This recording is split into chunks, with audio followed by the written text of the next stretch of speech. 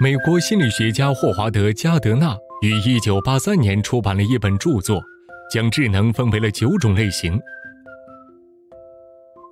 我们借助新镇议会的难题来了解下这个理论。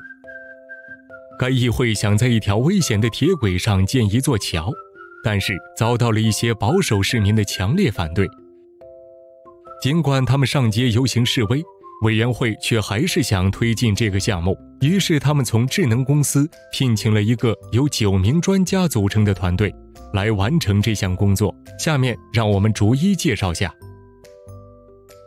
图像小姐幼时经常玩捉迷藏的游戏，而且非常喜欢拼图。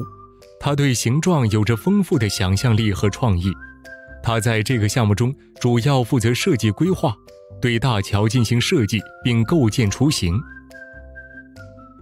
大自然先生喜欢植物，并且在降低桥梁建造对环境影响方面有着非常不错的想法。自打第一次和爸爸去夏令营时，他就开始研究有关环境的问题。他对一切生物都充满了热情。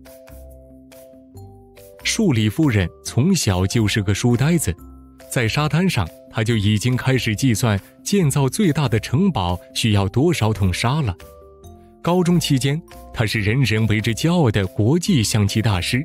他将要计算造桥所需的成本，研究工人的安全问题和预估所需的原材料，所以他负责预算、资源和风险相关的工作。人际关系夫人安排了一次城镇会议，并邀请所有的市民前来参加。他待人总是很亲切。当他还是个孩子的时候，就将大部分时间用来和邻居家的小孩在外面玩耍。十几岁的时候，妈妈便跟他解释说，其实大多数人都是善良的，即使他们不善于表达自己的情感。如今，所有人都很喜欢他，他善于说服其他人，即使对方是最能说会道的反对者。语言小姐从小就一直写日记。他会在数学课上写诗，在去外地旅行时也不与他人交谈，而是研究旅行指南。在市政大会上，他的演讲稿以理服人，陈述现实，饱含感情，隐喻恰当。从很小的时候起，吉米生活家就知道如何待人接物。如今他在台上展示着这些技能，他以自己的经历展开。以他的猫曾经在铁轨上迷路的故事展开了演讲，他激情洋溢地表达了所有的论点，以至于所有的市民无不同意这个计划。语言小姐很高兴看到他写的演讲稿起了作用。现在，随着施工的开始，体育先生开始跃跃欲试了，甚至孩子们也被他的力量所鼓舞，主动去帮忙。在休息期间，他和施工团队一起踢足球，这不但有趣，而且还有益于学会平衡的技巧，可以在高空作业中施展。自省夫人很会洞察人心，我们的恐惧、快乐和愤怒，他会从自己的过去中剖析这些情感，他也会了解这些情感，并且和朋友们诉说。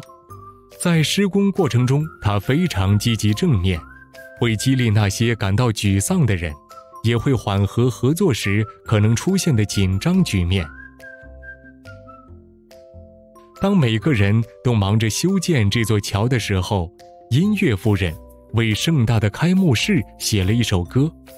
自从学习钢琴以来，他就爱上了音乐，后来他又投身嘻哈和爵士舞。在大桥的开幕式上，他和他的乐队演唱了这首歌。来自智能公司的九人是一个非常出色的团队。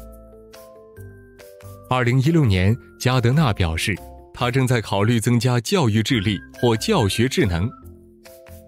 对此，你有什么看法呢？他对这些类型的理解是正确的还是错误的？还是说智商、情商或其他形式的智力是更好的分类？请以教学智能的方式在下面的评论中告诉我们你对多元智能理论的看法。